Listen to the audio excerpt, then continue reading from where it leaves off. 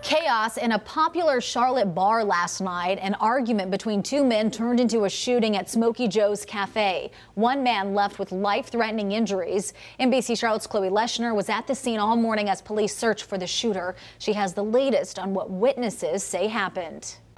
A witness I spoke to calls Smokey Joe's home. He says there are a lot of regulars on Tuesday night, and he would have never expected to see someone shot right inside.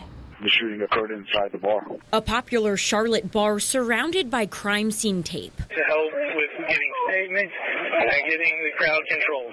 Smokey Joe's packed with people who had to hide after shots rang out early this morning. He shot, shot, pow, pow again. I got up and just ran outside and kind of everybody kind of ran for cover. It happened around 2 when the bar closes. Police say two men were fighting when one pulled out a gun. A witness trying to separate them as it happened. They they got into it and got wound up on top of them, and you know we're trying to just trying to pull them off, and just heard gunshots. You know, like right there under me.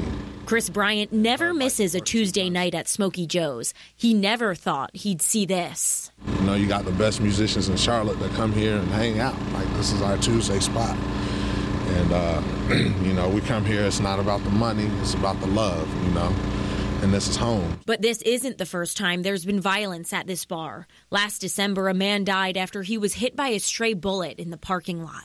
And that witness says he will not let this type of violence win and that he will be back next Tuesday. In Charlotte, Chloe Leshner, NBC Charlotte.